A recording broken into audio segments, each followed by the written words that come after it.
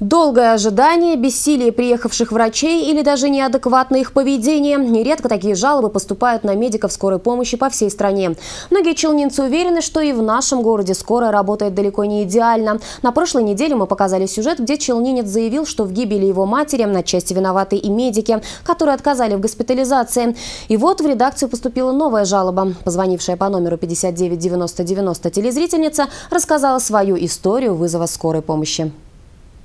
Внезапно ночью Альфию Заединову разбудил сын с жалобами на сильную боль в шее и голове. Мать незамедлительно вызвала скорую помощь. А пока медики ехали, родственники пытались самостоятельно облегчить боль народными средствами.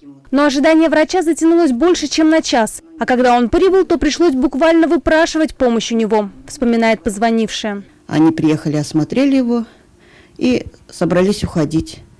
Я говорю, ну дайте, говорю, хоть какую-то таблетку, говорю, если ему плохо опять станет, чтобы этот. Мы, говорит, не ходячая аптека. Один вот сказал мне. Я говорю, ну как вы, вы должны ему помощь оказать.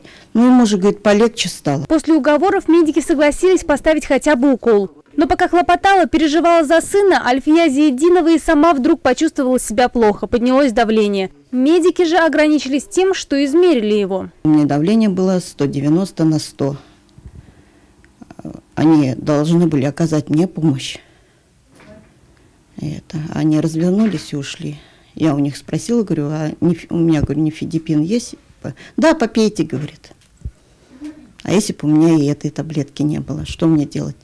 Надо было. Что за квалификация такая у работников медицины, вопрошает телезрительница. За разъяснениями мы обратились на саму станцию скорой помощи. Там для начала сообщили, что год от года число вызовов только растет. Сегодня они принимают до 700 обращений в сутки. Кроме того, прибавилось и число заявок, связанных с простудными заболеваниями, гриппом, ОРВИ или подозрениями на них. В таких условиях приходится расставлять приоритеты, признаются специалисты. Основная обращаемость идет вечерние, то есть когда уже поликлиники не работают, вечерние ночные часы.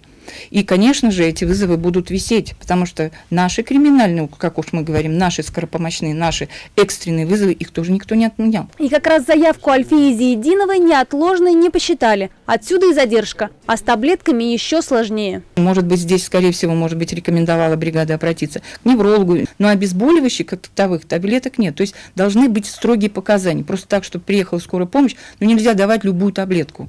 Тем более, особенно, когда просят пациенты, которые сами-то не медицинские работники. Как все обстоит на самом деле в том или ином случае, прослеживается ли халатность врачей, каждый может узнать лично, направив жалобу на горячую линию по номеру 30 47 95. Там поднимут аудиозаписи общения с диспетчером, все телефонные разговоры пишутся и будут разбираться по конкретной ситуации. Сюда же могут обратиться те, кто столкнулся с грубостью медперсонала или остался недоволен результатами его работы, а также по другим вопросам. Ольга Шапкина, Андрей Буслаков, РЕН-ТВ, Набережные Челны.